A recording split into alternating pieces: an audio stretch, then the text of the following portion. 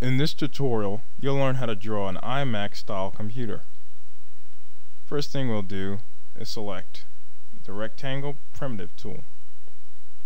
With this selected, we're going to draw a nice rectangle. For this rectangle, we don't need a stroke color. So we can just go to stroke color and go over here and click on the no color. You should see a red. And for the fill, we want a white and we'll draw a nice rectangle whatever size is good for you. Now the corner radius for this is set to 20 and that's a little too great. So I'm going to bring up the properties and change the corner radius. I have it locked. I'm going to change it to 10 10 seems to be a number that works. I don't need this anymore and inside of that I'm going to make another rectangle. And I'm going to leave about a uh, I would say more than maybe about 20% uh, of space inside of the previous rectangle. This new rectangle I just drew I want to color it black Now with this back, okay. And this is about right. I think I can make it a little bit bigger. Get closer to the edges. I, I selected it and pressed Q for free transform. Yeah, and that's about right. And we'll go back to the toolbar and we want to select a rectangle tool um, and we'll just draw the rectangle on top of this. If we draw the rectangle on top of this we won't be able to see it because when you use the rectangle primitive tool you make the tools as you make the shapes as objects. And objects are almost like movie clips or anything grouped so what we can do we can draw it and then select it and do all this type of stuff or we can simply go here and object draw. And click on that. And we want to change the fill to a blue. Uh, this looks good. A blue like so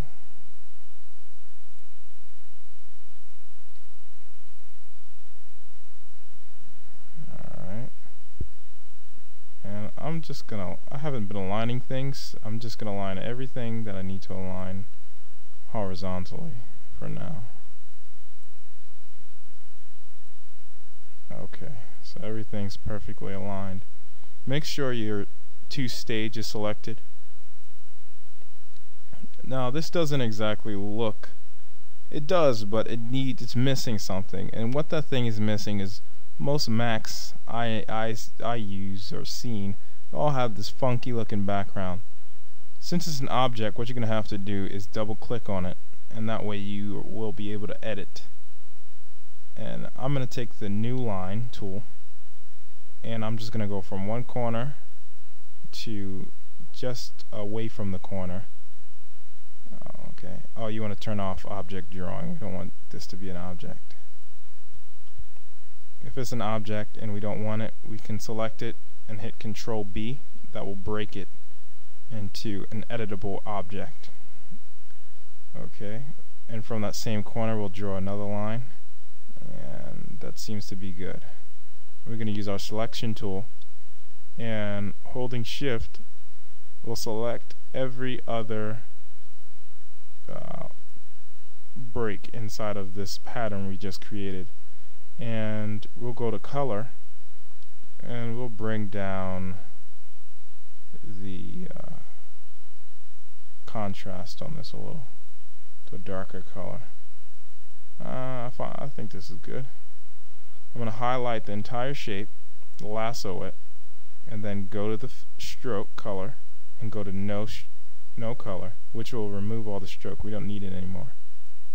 Now we'll just double click on um, on some empty part of the screen and now you can see that this uh, this background really brings out this computer type look.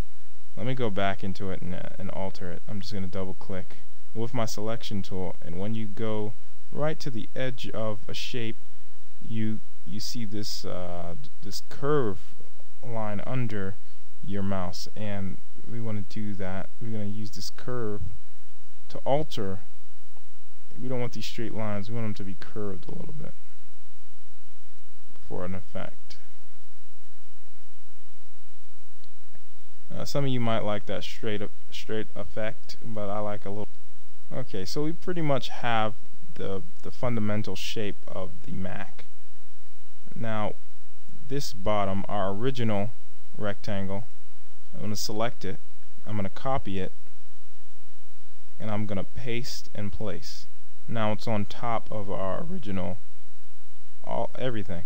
So we're going to double click on it and it's going to come up with this foreground window. It's alright you just press OK.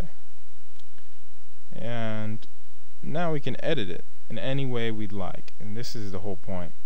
So we're going to use our lasso tool. We're going to come from the corner and bring ourselves up maybe a little bit more than halfway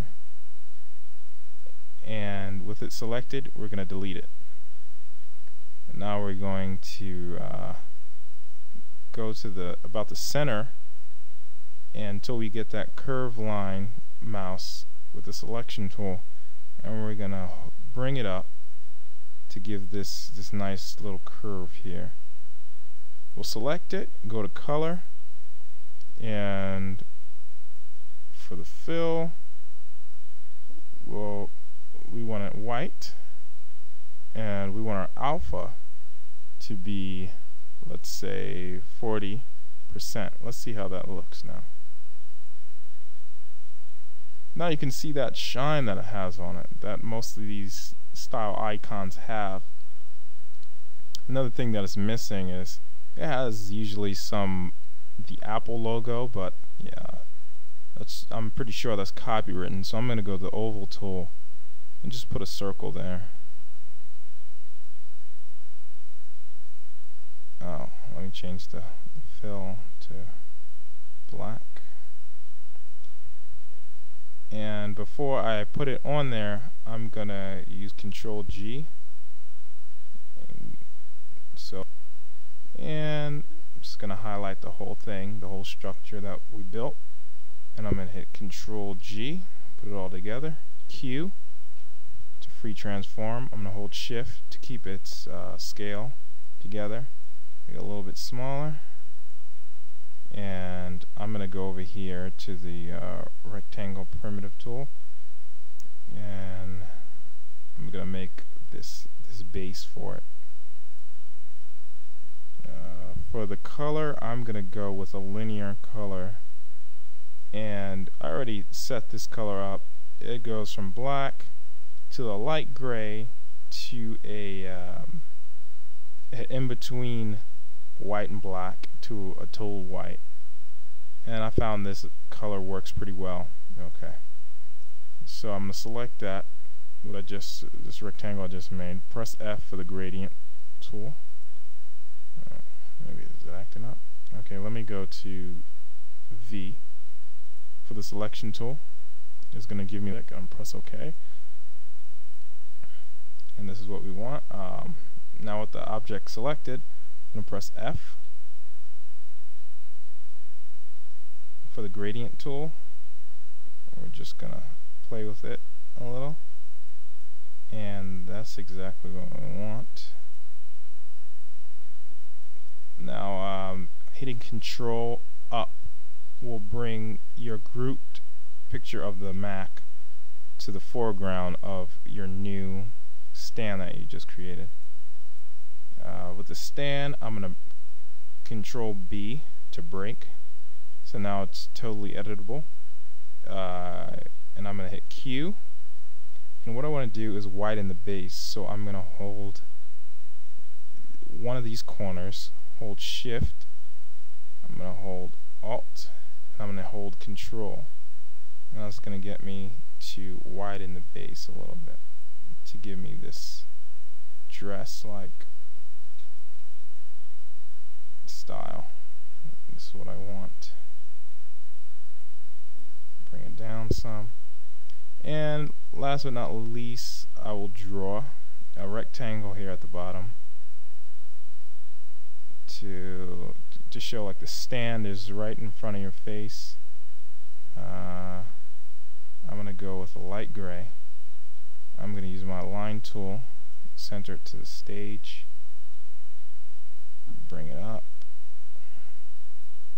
and it cuts off a little bit of my stand. I'll just remove that. And I'm going to highlight this and I'm going to group the whole thing. And that's it. There goes uh, goes a Mac. Let me center that. center that. And that's how you draw uh, a Mac icon this is Waarith thanks for watching. On Enter Learn